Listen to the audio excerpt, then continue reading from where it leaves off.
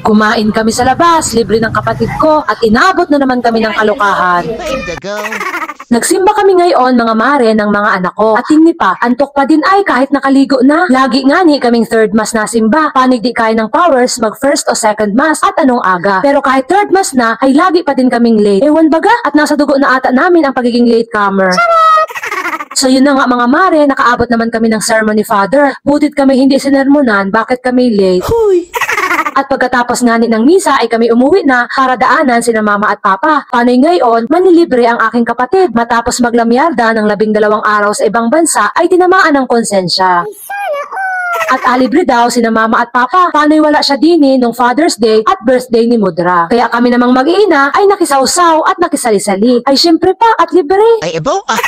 Nauna na nga ni sila at panoy na pagdesisyon na namin na sa McDo na kami makain. Panoy kabukas laang ay makiisyuso din. Huy. Kami naman ni Papa ay sumunod na laang para sila ay makaunan na sa pila. At balita kasi ay laging blockbuster ang pila. Kaya kami ay dead muna at nilagpasan si Jollibee. Ay ebo. Ah.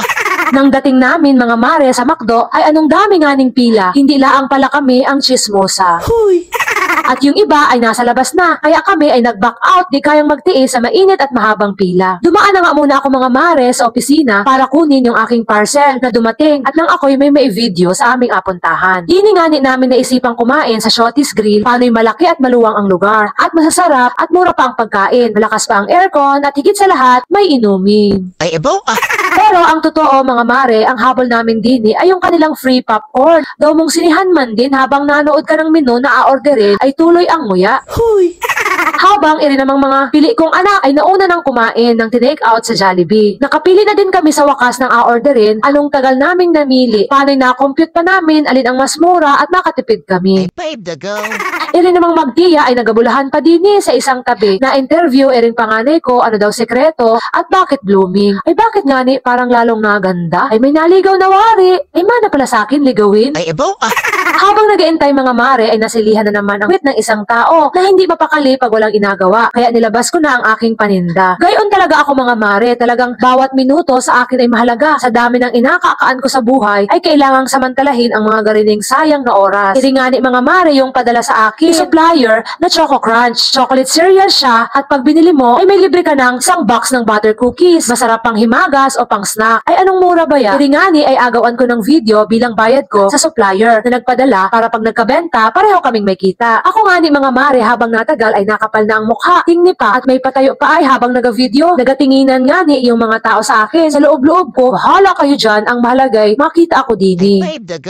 At hayan na, luto na ang aming order. Nauna ngang maluto, iring sisig. At nakatakam din, iring meal nila na Hungarian sausage. Pero ang aking in-order ay sizzling pork chop. 130 lang nga ni ang isa. Yun mga mare, mura laang ang mga pagkain. Kaya kung gusto mo na masarap at sakto lang ang presyo, ay dini ka na sa Shotty's Grill pumunta. Pagkatapos mga mare, ay di nag-video naman ako na inatikman ko iring cookies. Gayon kasi, para makabenta, dapat apakita mo kung paano gamitin yung produkto o kung pagkain man, ay dapat ikaw mismo nakain ng tinda mo. Lumabas na kami matapos magbayad ng bill ng kapatid ko at syempre, nakaisip muna kaming magpa-picture at mag-video dini sa labas para may may content man laan. Kaya kahit kainitan ay are, dini kami pumesto sa labas ng resto kasi may magandang mural, magandang background. Kami talaga mga mare sa pamilya ay mahilig mag-celebrate ng mga okasyon kahit simplihan laang. Kung hindi maligo sa dagat o ilog o sa resort ay makain sa labas. Yun na din ang aming banding at para kami ay may pang-content na din. Kaya naisip muna naming mag-tiktok din. Daw man ding mga kulang sa kain.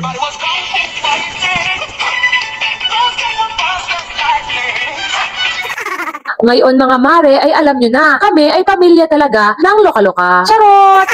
Tapos ering kapatid ko naman ay nabawi, hindi sa mag-asawa at binigyan pa ng libreng photoshoot. Daw mong akasal na nag-prenup ay, rin namang mga magulang ko ay tuwang-tuwa. Kapapaihi nakakatawa. Kunwari ayaw noong una, wag mo't game na game naman. At inasunod din ang napagawa na rin kapatid ko na walang magawa sa buhay. At pati ering mag-asawa ay inapagtripan. Huy. At ako naman ay anong tuwa. Paano may mga content din? Ay ebo. Ah. Ay paano mga mare, hanggang din na laang at palike at share naman kung napangiti kita. Kung hindi naman, ay bahala ka, matanda ka kaagad. Charot!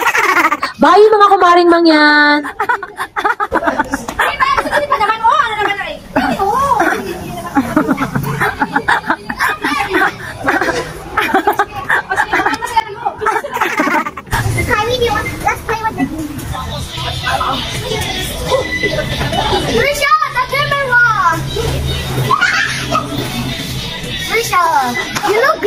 Good.